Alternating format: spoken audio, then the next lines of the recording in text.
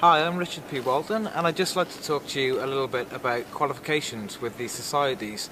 For me, gaining qualifications with the societies is probably one of the most um, most important benefits um, that the societies offer.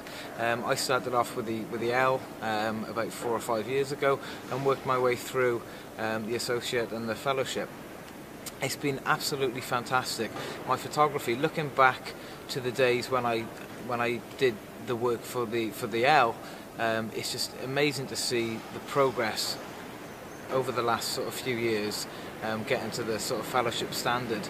Um, the societies is the best education um, or access to education I think that I've, I've ever come across within the photography industry um, compared to college and university it absolutely blows um, blows them out of the water uh, obviously in this day and age it's a lot of competition if you're trying to run a business in photography and I think there's always going to be room for good photography. So gaining the qualifications is a vital way to you know stay on top above your competitors and you know constantly keep improving so yeah definitely you should really be thinking about the qualifications and working towards that. And also you know it looks great on the website. It's, you know people take you a lot more seriously. They can see you're passionate and they can see you're professional